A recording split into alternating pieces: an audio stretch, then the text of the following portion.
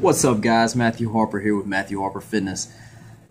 Guys, I recorded my leg day video, uh, it got all jacked up, so I do have a leg day video for you. It's not everything I want, but I promised you one, so here it is. What's up YouTube? Thanks for watching. About to hop in this leg workout. Like I said, keep in mind I wasn't able to actually get the full leg workout. I got in like one set of two different movements. I did a lot more than this. Um, but I'm cleaning my phone out. I'm getting everything taken care of to where hopefully I can get a better video for you guys coming soon. So I started off with just plates just to kind of warm up, uh, get my body to go through the movements, get it, make sure everything's firing correctly, get some blood flowing. That's about it. Put that back up. I think I jumped up uh, I threw a quarter on. I did another, I think six reps for my second set, and then I worked up.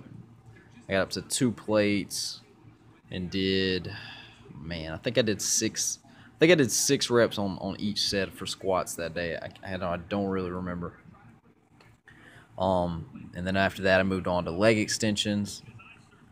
And then I did leg press, which won't be on the video. And then I also did lunges, which won't be on the video. Again, I will try to get those up for you next time so that we can get a better leg workout.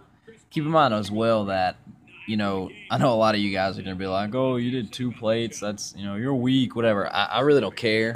Um, for me personally, I'm happy. I'm finally up to two plates. I've, it's been a long, long process to build my legs up um, because as I started gaining weight, I started – making progress, and then I had to have surgery.